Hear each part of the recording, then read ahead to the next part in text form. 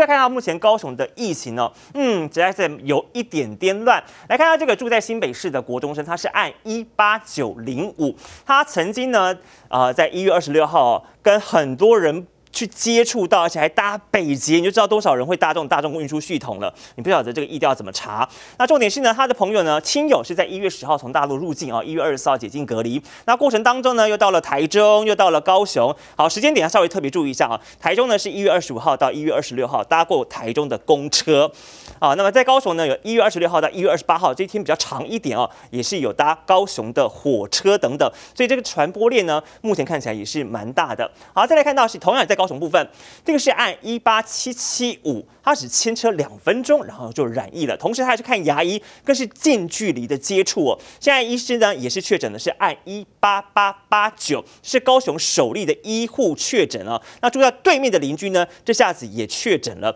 好，整个传播链呢看起来呢，嗯，目前还是在这个有点。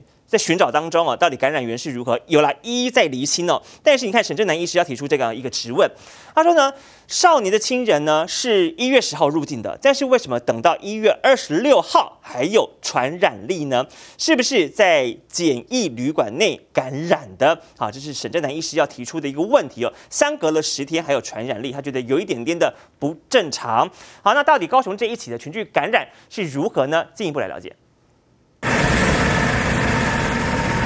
环保局人员到台铁新左营站扩大消毒，人行道跟花圃每一处仔细清消。因为前一天新增的按一八九零五新北国中生，他的足迹从新北到台中，还到高雄，CT 值二十二点八，高病毒量，感染源不明，发烧就医才确诊，跟高雄两起群聚案没有关联性。专家研判可能是社区感染。如果到时候确认在呃那个时段跟高雄的相关流行序列并不相同，那可能就要留心是不是在台中本身也有另外一个隐形的传播链的存在。在那而造成该生被传染。高雄市卫生局调查发现，这名国中生有一位亲人十号从大陆入境，二十四号解隔离之后，二十六号跟国中生还有家人接触，有没有可能因此遭感染？医师沈正南认为几率很大，但是也提出质疑：国中生的亲人是十号入境，为什么到二十六号还有传染力？是不是在防疫旅馆内被感染？两周前自中国回来的个案，这个个案呢，因为。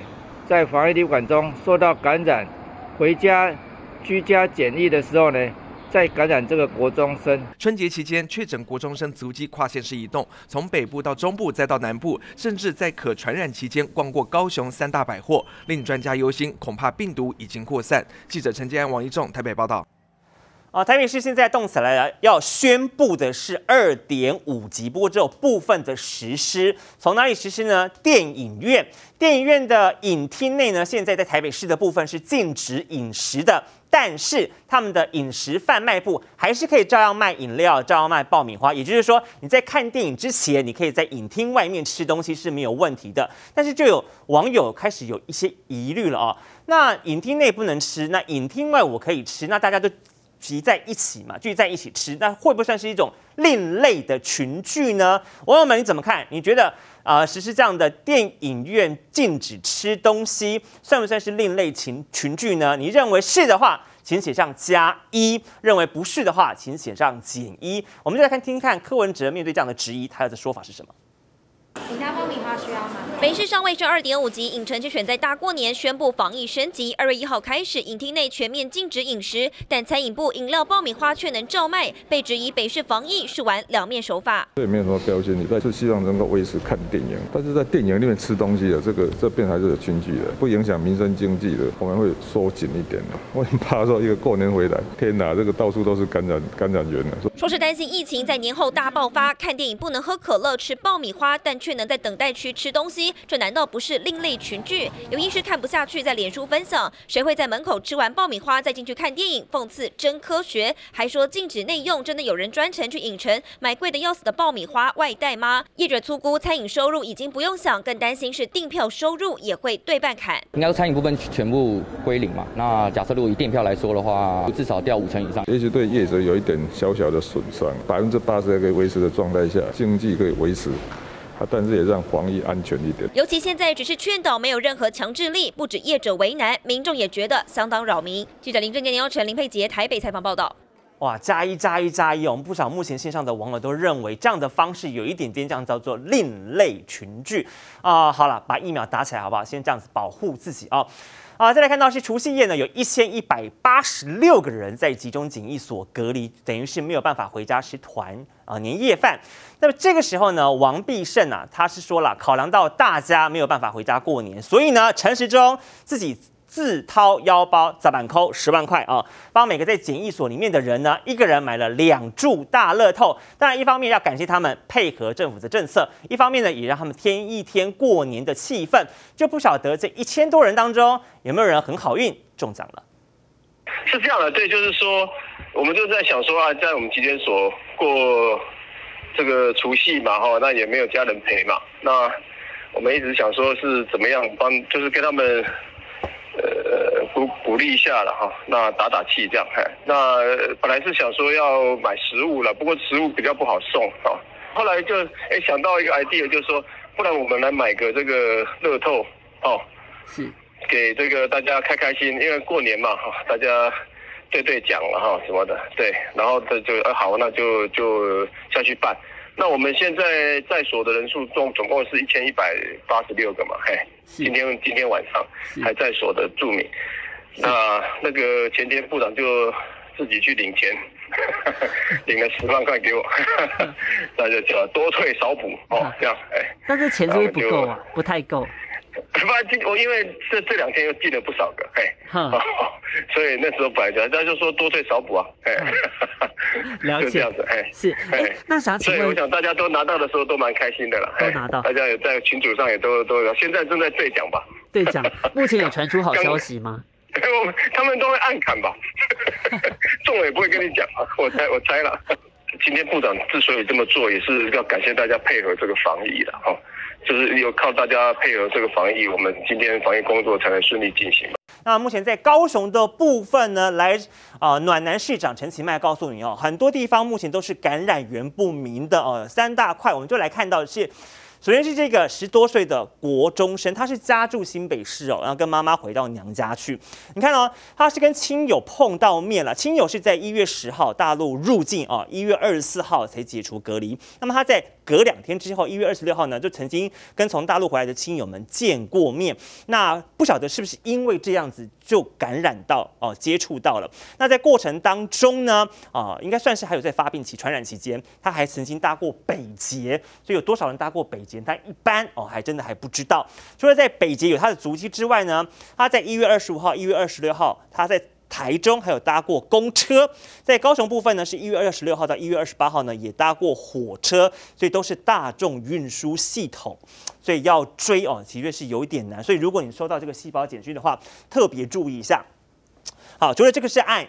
一八九零五之外呢，我们再来看到是按一八七七五的部分，他不过是看个牙医而已哦，结果两个人都确诊了，尤其因为看牙医距离是比较近嘛，所以呢，这个牙医呢也成为了高雄首例的医护确诊。另外一个啊感染源不明的还有这个旗金公寓链的部分，只是住在对面的邻居而已哦哦，也是被传染了，所以呢，这是目前有加三个哦三个人。再来是礁溪长荣凤凰衍生的大寮幼儿园传播链呢啊同学。同学的父母亲哦，现在有三个人，再加三个人哦，也是确诊的情况。总而言之，感染源目前都是不明的。但是对于沈正南医师来讲呢，他有一个疑问想要问的是哦，就是刚刚这一名按一八九零五的国中生，他说呢，少年的亲人呢是一月十号入境的，但是为什么一直到一月二十六号还有传染力呢？他怀疑是不是在防疫旅馆内就感染到的这部分，不晓得是谁可以帮他解答。环保局人员到台铁新左营站扩大消毒，人行道跟花圃每一处仔细清消。因为前一天新增的按一八九零五新北国中生，他的足迹从新北到台中，还到高雄，CT 值二十二点八，高病毒量，感染源不明，发烧就医才确诊，跟高雄两起群聚案没有关联性。专家研判可能是社区感染。如果到时候确认在呃那个时段跟高雄的相关流行序列并不相同，那可能就要留心是不是在台中本身也有另外一个隐形的传播链的存。在。那而造成该生被传染。高雄市卫生局调查发现，这名国中生有一位亲人十号从大陆入境，二十四号解隔离之后，二十六号跟国中生还有家人接触，有没有可能因此遭感染？医师沈正南认为几率很大，但是也提出质疑：国中生的亲人是十号入境，为什么到二十六号还有传染力？是不是在防疫旅馆内被感染？两周前自中国回来的个案，这个个案呢，因为在防疫旅馆中受到感染。